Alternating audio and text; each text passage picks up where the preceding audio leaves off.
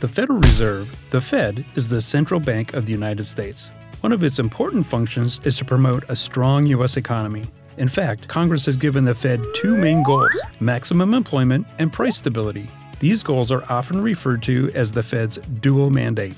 The Fed uses monetary policy to move the economy toward these goals. Now, price stability doesn't mean that prices never change. It means that the inflation rate remains low and stable over the longer run. The Fed's policymaking group, the Federal Open Market Committee, often referred to as the FOMC, has stated that it would like inflation to average 2% over time.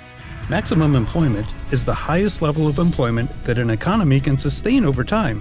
The FOMC determines how the labor market is doing relative to how it could potentially be doing at maximum employment. To do this, it looks at a wide range of economic indicators, including the unemployment rate. So, how does the Fed try to achieve its dual mandate? The Fed sets monetary policy to start a chain of events in the economy.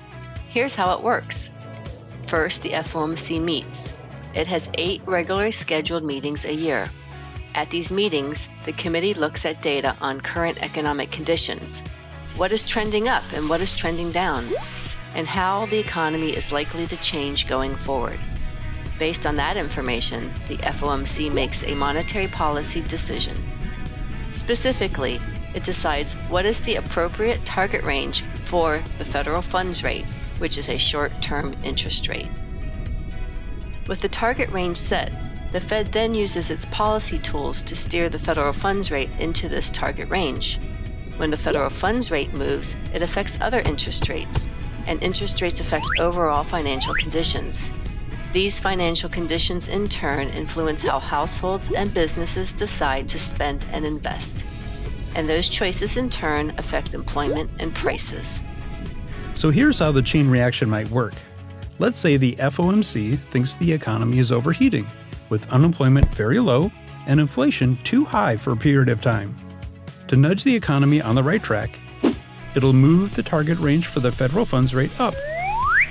Then the Fed will use its policy tools to steer the federal funds rate into the target range, which encourages other interest rates to move up. When interest rates are higher, households and businesses tend to spend and invest less and save more. When spending declines, there's less demand for workers and prices tend to decline. Now, let's say the FOMC thinks the economy is weakening, with employment falling short of its maximum level or inflation declining below target.